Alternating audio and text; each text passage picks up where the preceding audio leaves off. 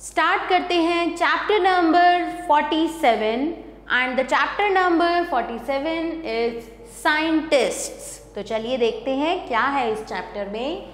Scientist are people who have expert knowledge of one or more of the natural and physical sciences so scientist जो होते हैं, वैज्ञानिक जो होते हैं, वो वो लोग होते हैं जिनके पास एक नॉलेज होती है, बहुत अच्छी नॉलेज होती है, एक या एक से ज़्यादा प्राकृतिक या फिर शारीरिक विज्ञान की okay so identify the following scientist हमें इन साइंटिस्ट को आइडेंटिफाई करना है और आंसर देना है इन क्वेश्चंस का। तो आपको ये पहले नंबर वन पॉइंट पढ़ना है। चलिए, पढ़ते हैं। One of the best known physicians in Indian Ayurvedic medicine Indian, भारतीय, आयुर्वेदिक जो मेडिसिन है, उसमें एक बहुत बेस्ट फिजिशियन थे who know the fundamentals of genetics जो जेनेटिक्स के फंडामेंटल जानते थे इवन 2000 ईयर्स एगो 2000 साल पहले ही knew the factors determine the sex of child वो वो फैक्टर जानते थे जो कि तय करते हैं कि बच्चे का सेक्स क्या होगा। मतलब बच्चा जो है वो लड़का होगा या लड़की होगा। ओके? okay? तो ऐसे वो ग्रेट फिजिशियन थे। जेनेटिक्स का मतलब बच्चों कि जैसे होता है ना, हमारी शक्ल हमारे पेरेंट्स से बहुत मिलती है या हमारे दादा दादी से मिलती है। तो क्यों होता है ऐसा? ऐसा जेनेटिक्स की वजह से होता है।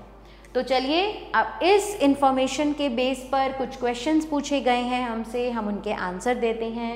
What is the name of this physician इस फिजिशियन का क्या नाम था? इस फिजिशियन का नाम था चरका ओके तो इस फिजिशियन का नाम था Charaka.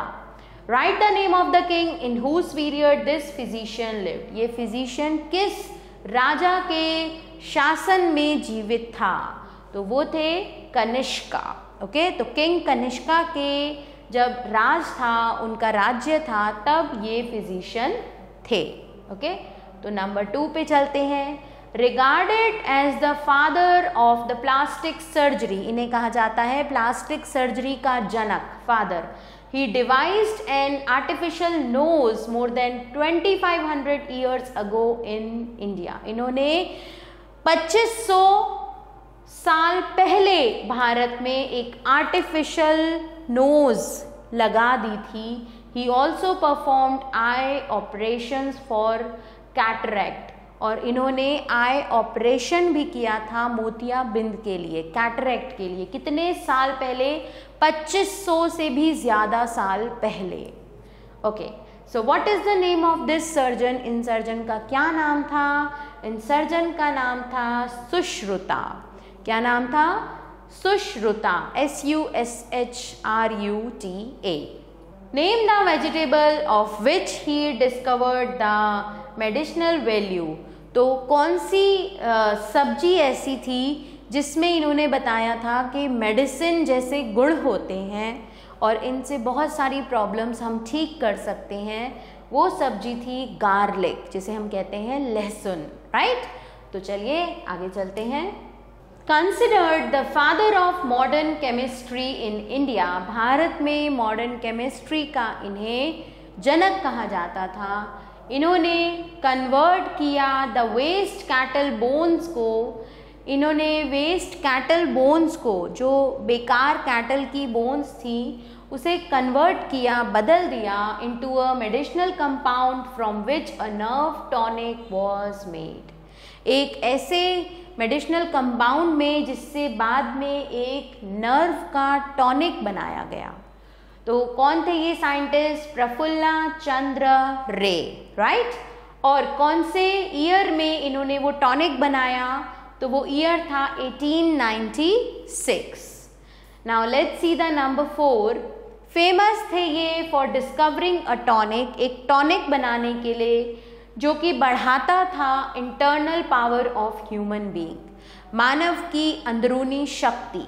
तो ये वैद्य कौन थे? What is the name of this Vaidya? च्यवना।